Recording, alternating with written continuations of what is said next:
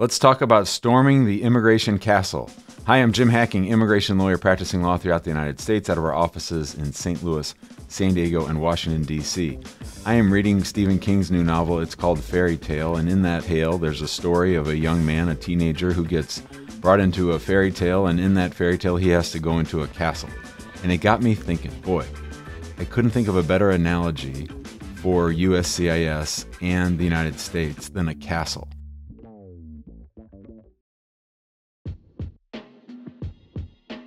The United States is like a big castle and it has lots of defenses, lots of ways of keeping people from entering the United States. There's a big moat.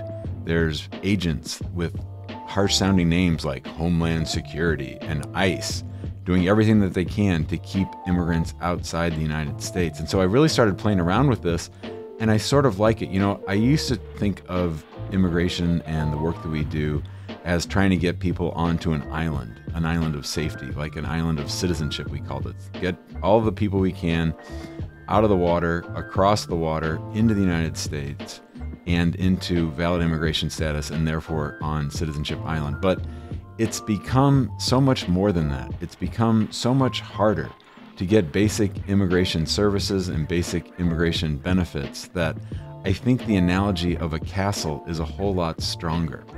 You know, as an immigration lawyer, then, our job is to figure out how to get you inside the castle. And once you're in the castle, then we have to figure out how to get you to citizenship. And it's a really, a really good analogy, I think. And I think it's very powerful because when I think about all the ways that USCIS tries to keep people from getting inside the United States, the analogy is perfect you know, they come up with all these rules and procedures and they have all these ways of, of keeping you from being able to get a hold of them.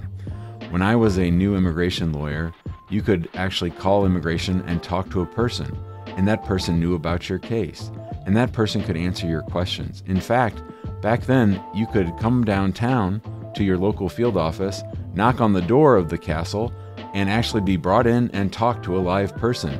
But that's not the deal anymore now they have all these ways of keeping you from being able to get any information. Now, they say that they put some things online and that there's ways for you to get information that way, but it's really not the same thing. And then, of course, we have notices of intent to deny and requests for evidence. We have all these procedural mechanisms, which in my mind sort of seem like arrows, like they're trying to shoot you down and keep you from getting into the castle, and they try to prevent you from getting your case approved. So if you think about it, it's really what's going on these days. And of course, we had an evil king for four years in the castle who was doing everything he can to hurt and harm and scare the immigrants from entering the castle. Now, after four years of that, we have sort of a benevolent old king who I believe is well intentioned but hasn't done much to change the castle to make it easier to enter, to call back his agents, and to ease life on immigrants trying to get into the castle. So, our job as immigration lawyers is always to help you get into that castle. And we could say, oh, let's just knock on the door. Hello, we're here. We want to help you help our client get into the castle. Will you let us in? That's not what I'm talking about. What I'm talking about is going in full force to do everything we can to use every tool in our arsenal to help our immigrants get across the moat, across the bridge, over the wall into the castle, into safety, into the place that they want to be. That's our job. And my daughter has been saying it for a long time that I needed to use the, the phrase hacking immigration because that's my last name to use that more. And really, that's what we're doing. We're trying to hack our way into the castle. And I don't mean to bring up any violent um, images or metaphors. I'm just trying to get you to understand that in my mind, the way I see it is just like that kid in the Stephen King novel is that it's dark it's scary. They're pouring boiling oil down. They're shooting arrows. They're doing everything they can to keep you, the immigrant, from getting into the United States. So, if you think about it that way, that's the right mindset. That's what you need to be thinking about is that there's all these ways to get into the castle, but there's also all these defenses trying to keep you from getting in. I hope this all makes sense. I hope it's not too much. I think it's it's a pretty good metaphor.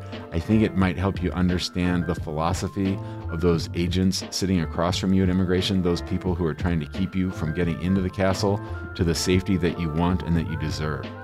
If you want our help, we're going to do a whole lot more than knocking on the door for you. We're going to do everything we can. If we have to sue them, if we have to file tons and tons of evidence, if we have to get you ready over and over for your interview, we're going to do all those things to help you get not just into the island, but I'm talking about inside the castle because that's where you want to be.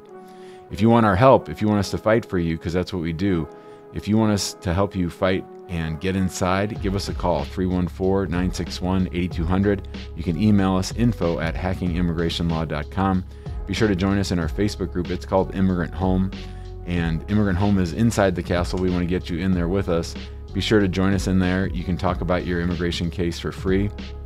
Again, if you're wanting to hire us, you can email us at info at hackingimmigrationlaw.com. And then, of course, we have our YouTube channel. I'm going to talk about my new castle analogy on today's show and we're probably going to be using it more and more, so you'll probably be hearing about it more and more.